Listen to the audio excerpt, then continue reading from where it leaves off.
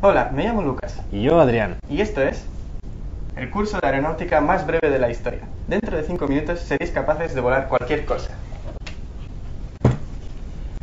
Bueno, quizá no sea cualquier cosa.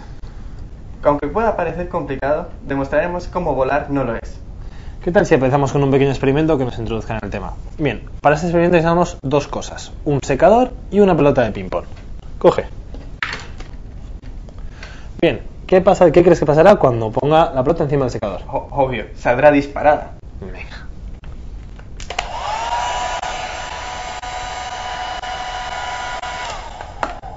Bueno, pero tendrás que explicar por qué sucede esto. Sí, claro, veámoslo de nuevo. Lo que vamos a observar es el efecto Coanda. Es una propiedad de los fluidos según la cual cuando un chorro como el aire choca contra un obstáculo, tenderá a seguir su superficie. En este caso, el chorro de aire del secador llega a la pelota. Se abre atrapando por completo la pelota dentro de unas paredes invisibles. De esta manera, lo que conseguimos es que aparezcan unas fuerzas en toda la pelota que impiden escaparse. Interesante, pero si realmente no se puede escapar, no hace falta que mantengan el secador en vertical, ¿verdad? ¿Prueba?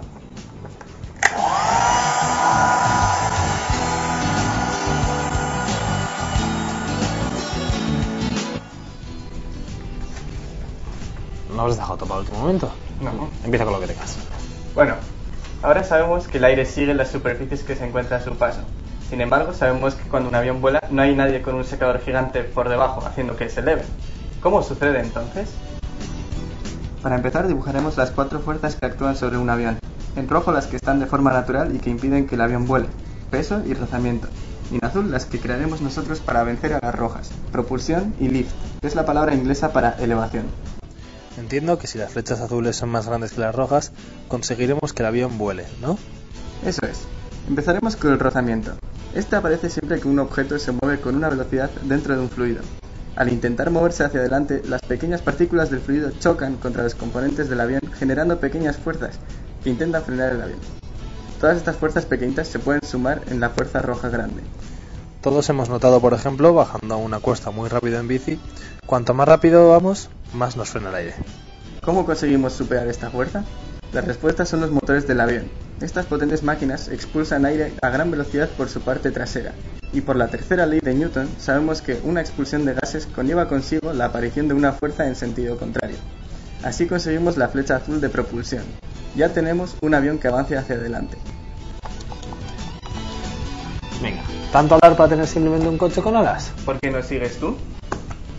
¿Cómo generamos lift? La mayor parte del lift se crea en las alas del avión, pero antes de pasar a dibujarlas, necesitamos conocer el principio de conservación de la masa. El principio de conservación de masa dice lo siguiente. No os preocupéis, las fórmulas solo sirven para asustar. Si tenemos un sistema, como una tubería por ejemplo, toda la masa que entra saldrá por el otro lado y además lo hará a la misma velocidad a la que entra. Nada complicado, ¿verdad? Ahora bien, si de repente comprimimos la parte central dejando un paso mucho más estrecho, el principio deberá seguir cumpliéndose. Sin embargo, al haber menos espacio para que pase el aire, este tendrá que acelerar para poder caber todo a la vez. Tras pasar ese punto, volverá a tener más espacio y volverá a la velocidad inicial. Hemos descubierto, por tanto, que cuando comprimimos una tubería, el aire fluye más rápido en ese punto. Perfecto, volvamos a nuestras alas. Aunque el aire sea invisible, lo representaremos con unas líneas horizontales llamadas líneas de corriente. ¿Os acordáis del primer experimento que hemos hecho? Aquí ocurrió lo mismo que con la pelota. Por tanto, las líneas de aire se deforman. Cada canal de los que veis es como una pequeña tubería por la que circulan libremente las partículas de aire. Una partícula no puede saltar de un canal a otro. Como podemos observar, el canal superior del ala se comprime en la parte delantera, mientras que el inferior se expande. Por tanto, el aire fluye más rápido arriba que abajo. Para el siguiente paso necesitaremos la ayuda de Daniel Bernoulli.